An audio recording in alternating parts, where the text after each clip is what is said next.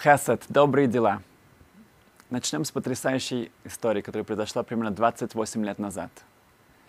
Гади Римон, молодой солдат, который служил в израильской армии, эм, на одной из патрулей, которые он проходил, один из эм, террористов, арабских террористов, он ранит его, эм, Гади падает, и эм, так как идет большая стрельба, то все убегают с этого места. Через некоторое время эм, террористы считают, что он погиб, но он лежит без сознания и эм, теряет очень много крови. В этот момент Шлома Бергман, один молодой парень, он приезжает на своей машине далеко, и он видит, он слышит, что какая-то идет стрельба. Он приближается ближе, он видит солдата, который лежит, и весь э, лужа крови. Он, несмотря на опасную ситуацию, он приближается туда, он берет его к себе в машину, он старается остановить кровь, он старается э, помочь ему. Он мчится в больницу, там э, его принимают, он э, э, опять же помогает, чтобы его занесли в реанимацию, и там э, начинают спасать его жизнь. В хотя он потерял очень много крови, если бы это было немножко дольше, то уже у него не было никаких шансов. Но так как эм, эм, ему оказали эту помощь, то его ситуация становится более стабильной. Э, Шлома видит, что уже как бы все под контролем, и он уходит. Через некоторое время приезжают родители э, Гади, они эм, вместе с ними им рассказывают, что произошло. И слава Богу, его ситуация становится более стабильной, и он выживает. Родители Гади Римон, они хотят отблагодарить того человека, который спас жизнь его сына, их сына. Um, они сами живут в Аждоде, и у них есть магазин, продуктовый магазин. Они um, повесили специальное объявление, что если кто-то знает um, um, том спасителе, их сына, который был в тот момент, находился в этих местах, который привез его в больницу, пожалуйста, эм, дайте знать, кто это был. Так они развесили множество объявлений в разных местах и в газетах, но пока он не объявился. Через несколько месяцев мама Шлома Бергмана, спасителя этого солдата, она находится в Аждоде случайно и ей нужно что-то купить. Она заходит в этот магазин, и на кассе она начинает читать это объявление. И она понимает, что это говорится о сыне. Он рассказал ей об этом, что произошло. Она обращается к продавщице. Продавщица является мамой э, Тамар э, Римон, мамой Гади. И она говорит ей, что это действительно ее э, сын. И это у, у родителей, у Гадримана огромная радость.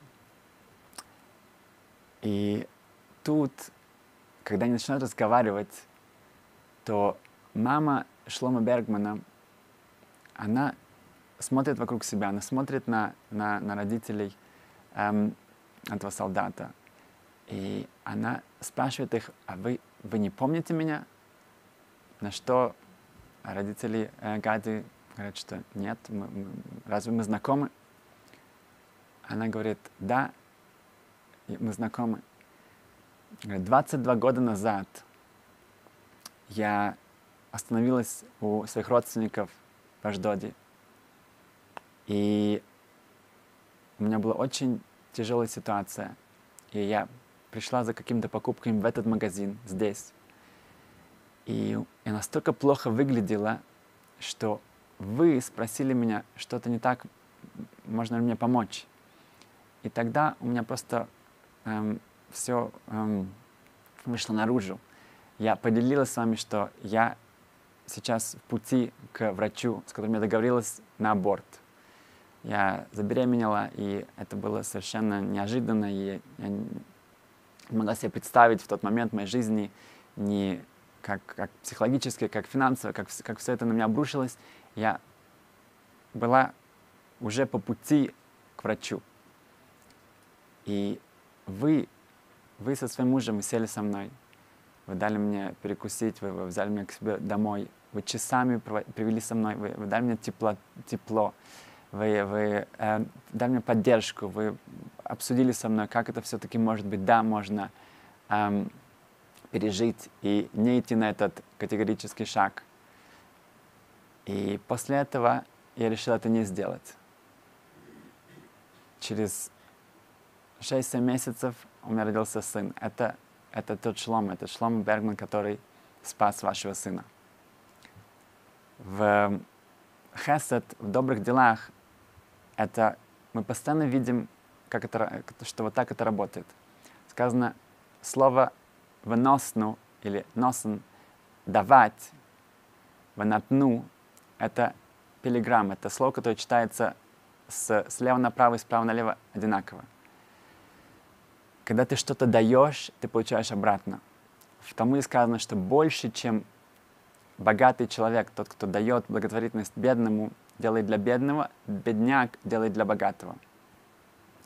Мы иногда думаем, что мы, мы помогаем кому-то, мы делаем кому-то одолжение. На самом деле, в конечном итоге, это всегда мы должны знать, должны понимать, что это на самом деле для нас. В молитве мы упоминаем, что эм, мы говорим благословение, первое благословение Шманесрова Меда, оно кончается Маген Авраам, щит Авраама. Рабин Сабишец объясняет, что если мы даем определение, что Творец, Он щит Авраама, и мы этим э, надеемся, что Он также будет защищать нас, то мы должны идентифицироваться с этими качествами Авраама. Авраам — это амута хесед, это, это символизирует добро, добрые дела. Это не просто эм, добрые дела, у него было качество ават хесед, он, он любил делать хесед. Он бежал за этим, он искал это. Он не просто ждал, что к нему придут за помощью. Он постоянно искал эту возможность, чтобы пойти и делать что-то хорошее. В...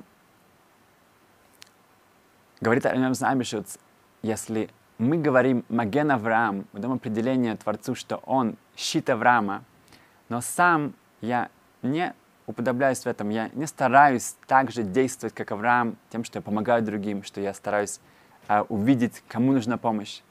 Если у меня нету этого качества, тогда как я могу рассчитывать на щит Авраама, на то, что Творец будет также оберегать меня от всего плохого. Поэтому человек должен понять, что если у него это натурально, у него это идет как бы более э, природно, заложено, это его характер, он настроен на этом, это отлично. Это все еще можно развить.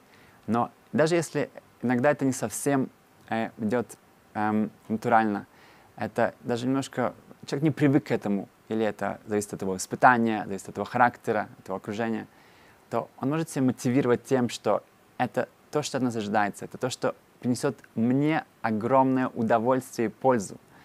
Эм, и, как сказано, что митцва говорили с митцва. За каждый исполнением заповедей, она тянет за собой следующую заповедь. Да?